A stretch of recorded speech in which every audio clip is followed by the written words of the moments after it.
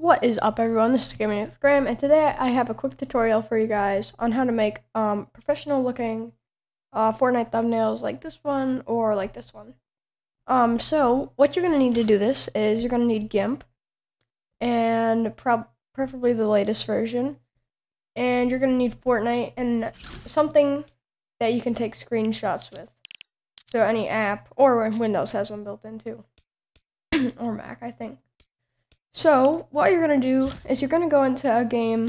Um, you probably want to do like solos. You could also do um, creative, um, but it doesn't look as real. So, you're just going to hop up in a solos game.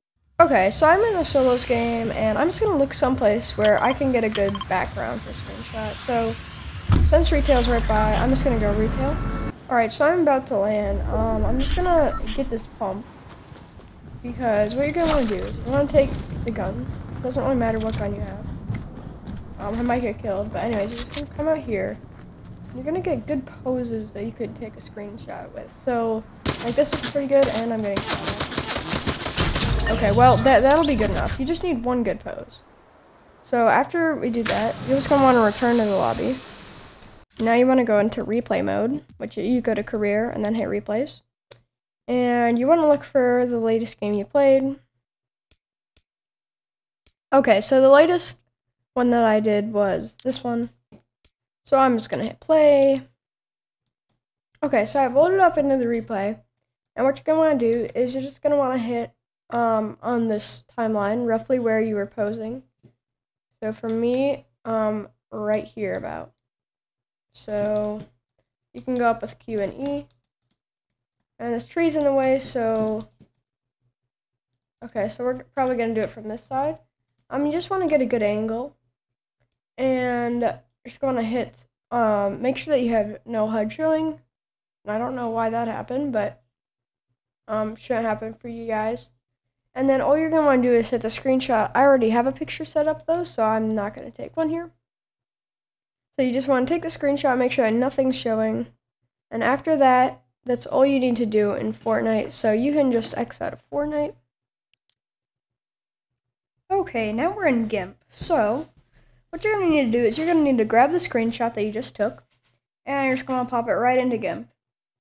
So, after you do that, you need to cut this guy out so that you can only that so that you can cut the background out. So I'll show you how to do that.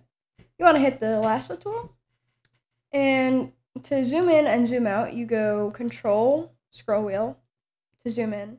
And to go up and down, you just use your scroll wheel with no keybinds. So, um, to cut this guy out, you're going to ch check the free select tool.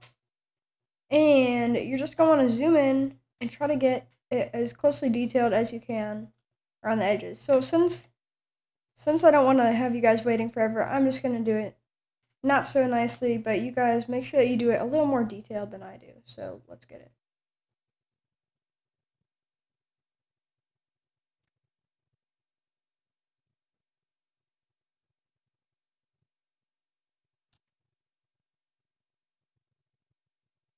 Okay, so I have almost finished, and I have. So as you can see, it's not perfect, but um, that's because I did it pretty quickly, but you guys can do it much quicker. And once you've got this all done, you're going to double click inside um, your selection, and then it turns into looking like this. So, to cut this out, you want to hit Layer, Transparency, Add Alpha Channel, and then you're going to want to hit Select, Invert, and you're just going to hit Control X. So there you go. You've got it cut out, and all you're showing, and all that's showing is the sky. But we need to do more than that, obviously. So what we're gonna do is you're gonna take the same screenshot you had, and you're just gonna put it right under your selection. So as you can see, they're perfectly overlapped. The people on there. And anyways, what we're gonna do is we're gonna hit select, invert, and then select grow. And we're going to grow the selection by 15. So after you've got that done, you're going to hit, um, you're going to right click down where over here. Then you want to hit new layer. Um, so it'll be right here. Make sure it has transparency on it.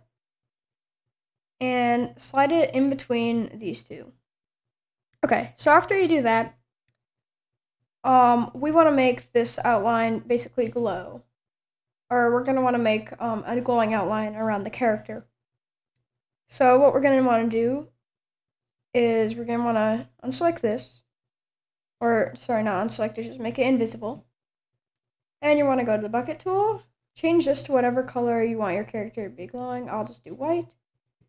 And you want to just hit, and it'll turn into this. So now, come back here. Or actually, no, sorry, you stay here. But you can make this visible again. You hit select, none. And then you right click on this. And then filters, blur, Gaussian blur. And as you can see, it's kind of glowing already. But we're going to want to make it glow a little heavier than that. So we're going to put it up to around 8. And as you can see, this puts a glowing outline around your character. So you can make this just a solid outline too, but I like it to look glowing. Gives it more of a pop. So now um, you're just going to put some text, um, basically whatever your video is going to be about. So I'm just going to put mine as, and you can use any font that you want. I like to download some. I've downloaded Obelix Pro and Gobold. Those are probably my two favorite. And I'll just name it Fortnite thumbnail. And then you want to come over here, hit enter. Maybe make the text box a little bigger so that there's space um, between the bottom and the sides and whatnot. This makes it so that you can do alpha to selection. And if you hit select, grow, and then you grow it by two, you can put an outline around your text. So we'll just use black because um, it's white text. And if you get it right, oh, silly me, I have to use this. Um, it's kind of hard, but if you zoom in, you should be able to do it. There we go. Okay, so now that text looks pretty good, but you might want it to look a little better. So you can change the color, but what I love to do to make it look nice is the gradient. So I, I'm just going to make it go red to, let's do just green. I like that color combo. So if we slide this up by selecting the gradient tool on the left side, which is this one, if you drag it up and you hit enter, you can see that it adds like a little gradient on the text. So you can just play with it and see what you like. I'll just stick with this. Um, and then you want to hit select and just hit none. And now you can see what it looks like, and that looks pretty darn cool. Okay, so I wanted to show you guys one more cool thing before this video ends, and that is just this picture that you can put in to really spice your thumbnail up. So what you're going to do is, I'll just show you what it looks like. So it make sure that you drag it to the top, says over everything. And basically, it's like these little light spikes. So if you just look up light spikes um, on Google or whatever, then you should be able to see image images like this, and you just can copy or uh, save it as an image and download it to your PC. So to make it so that it like covers the whole picture, you're gonna have to hit this to get rid of the black. Um, it's the select by color tool, and just hit the black, and then you hit layer, transparency, add alpha channel, and then you want to hit Control X, and if it for some reason removes these, then you want to hit Control Z, invert, and then do it again. So basically what we have now is you want to hit, uh, let's see if we can scale the layer. Yes, scale layer, and make it 1920 by, that works.